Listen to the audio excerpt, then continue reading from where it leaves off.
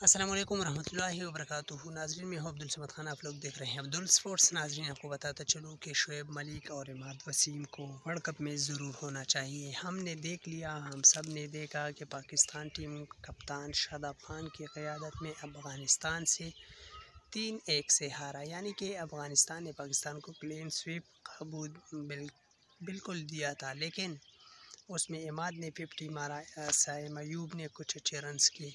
तो यार शुएब मलिक को होना चाहिए उमर अकमल और शुएब मलिक इन दोनों में एक को इंडिया के ख़िलाफ़, जो पाकिस्तान का मतलब वर्ल्ड कप में जाना है।